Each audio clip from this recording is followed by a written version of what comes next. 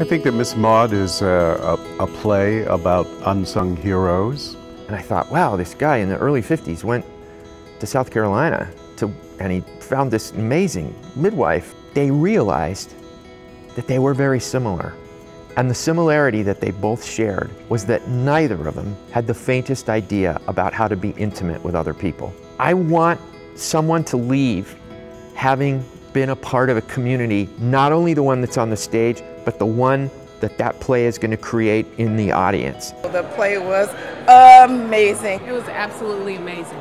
Um, absolutely powerful. It's absolutely motivating and inspiring. Because we deal with some of those same issues, but to see how much we are really alike. Look, everybody's going through the same thing. If we can come together collaboratively to learn a little bit more about each other, that'll be the first step. So not only do we want you here, we need you here and we welcome you to come. This guy travels all the way down to South Carolina to take pictures of this woman who could not be more different from him. And what he realizes is that they're exactly the same.